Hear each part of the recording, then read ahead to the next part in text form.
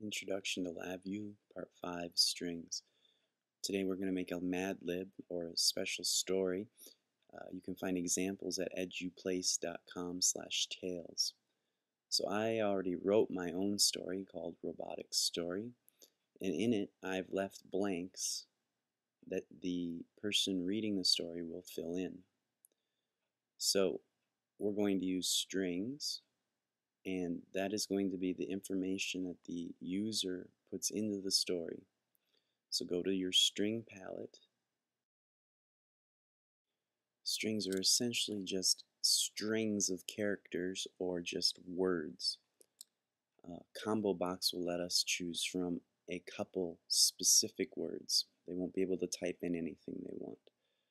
So get a combo box for he and she. You can go control click on it and edit the items.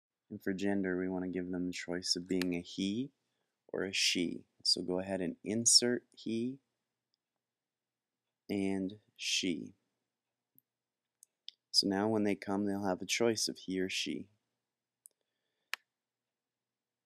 Alright, so I'm filling in options, words for them to put in that they will be replacing in the story and I'm trying to go a little bit quickly here. All you're doing is making string controls. And I'm cleaning it up a little bit. You can see there's also a number greater than 1. That is actually a numeric control. We also need some string indicators. That's where the story will be placed after they press the run button.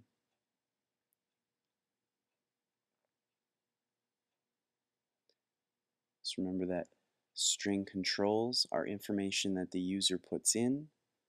The indicators will be information that the user gets out.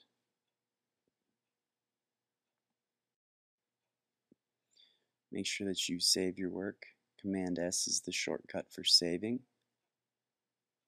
Looks like we have our front panel finished. Let's go to the block diagram. We have lots of blocks corresponding to the controls and indicators.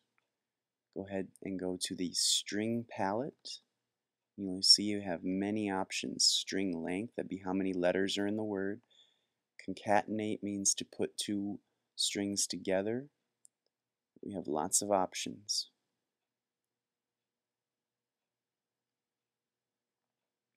We are going to start by concatenating strings. That means putting two strings together. We want to put the name of the person along with the word hello. That will go into the greeting. So we want to put together the word hello and their name. And we can wire those together, sending the information to the greeting. Now for the story. The story's too long to concatenate strings together, so what we're going to do is take the story. It has those words like your name, gender, and adjective, and we're going to find them and replace them. So first I need to copy the story into my block diagram. So I make a string constant, I go to my story. I use Command C to copy. Command C is the short for copying, and Command V is the shortcut for pasting. So now the story is in my program, and I'm going to use the block for searching and replacing. This block will look for the strange words that I give it, like your name, gender, adjective, and verb, and then it will replace those with the words that the user gave me. So I need a little bit more space, so I'm tiling my block diagram here. Alright, so we need to give the story as the input string to the block meaning that is the story needs to go into the block in the input string. Search string will be the word we want to look for, and replace string will be the word that we want to have take its place, that we want to replace it with. So let's try and find the word verb in the story and replace it with the word that the user put into the verb block.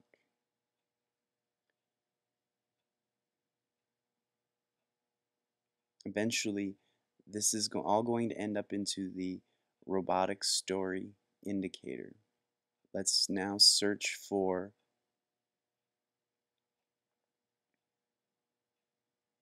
the word adverb.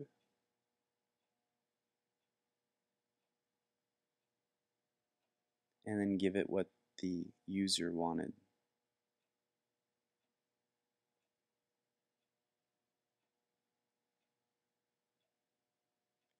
Okay, we have a few more. We need to search for exclamation. I'm moving it over just so I can read it a little bit better. We need to search for the word gender, so we'll give it that.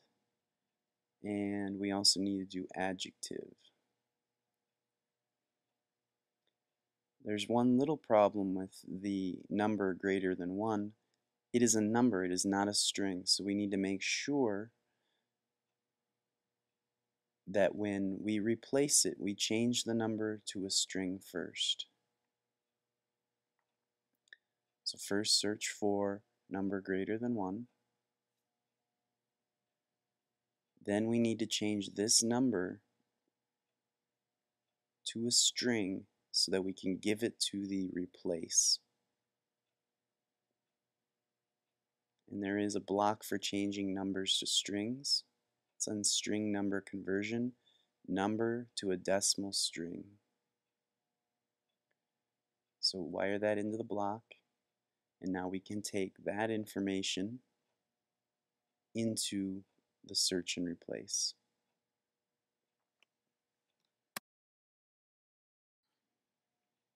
All right, that goes into robotic story. Let's test out our program.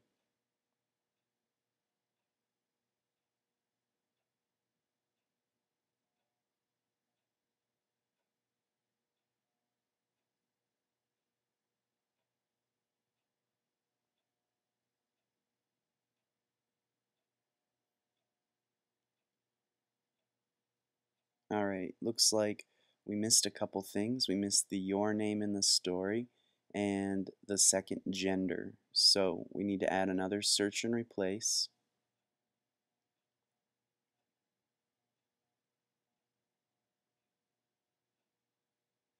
Need to search for your name and then wire it all the way back to the your name block.